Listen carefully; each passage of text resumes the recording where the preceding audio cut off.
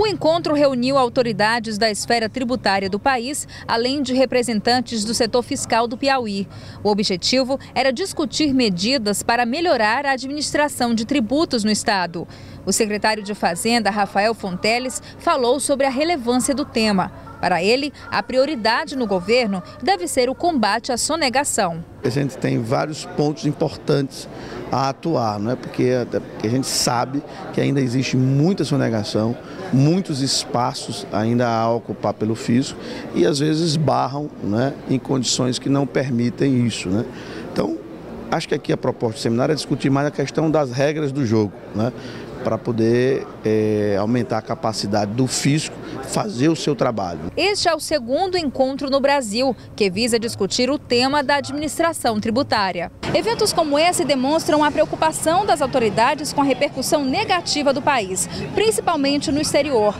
É que, segundo o Instituto Brasileiro de Planejamento e Tributação, o país tem hoje a maior carga tributária da América Latina, superando inclusive a de países ricos. Está entre as 30 maiores do mundo. Um dos convidados do evento, o presidente da Federação Brasileira de Sindicatos da Administração Tributária da União, critica este atual cenário no país. A atual administração tributária é realmente lastimável. Né? porque é, prevalece um modelo de privatização das secretarias de fazenda, é, prevalece a injustiça fiscal, é, é prevalece, sobretudo, ah, o, o não respeito ao princípio da capacidade contributiva e principalmente ao princípio do destino, porque o imposto que todos nós pagamos, né, é, contribuímos, é, ele é para ter o retorno em obras e serviços.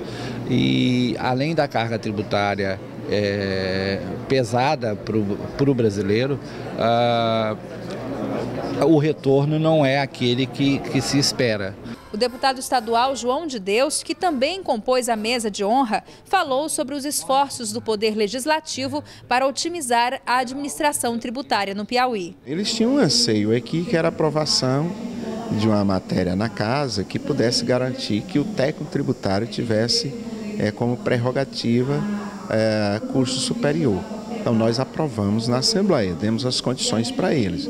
Eu acho que outras questões são importantes, principalmente no que diz respeito aos incentivos fiscais, exatamente para que nós possamos atrair empresas, mas por outro lado, que nós tenhamos uma contrapartida dessas empresas, né? que são os investimentos no Estado gerando emprego e devolvendo ao Estado aquilo que ela receber em forma de incentivos para que nós possamos fortalecer, portanto, as ações do Estado.